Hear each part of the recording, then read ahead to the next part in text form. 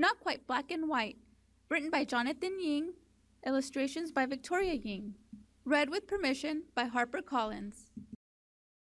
Most zebras wear stripes, but this one does not. She much prefers dressing in pink polka dots. These penguins look dapper in black and white suits, but one funny fellow has bright yellow boots. Dalmatians are sprinkled with spots of all shapes, but some pups feel braver in flowing red capes. Look there, at the beach. See two brother skunks. They're easy to spot in their matching blue trunks.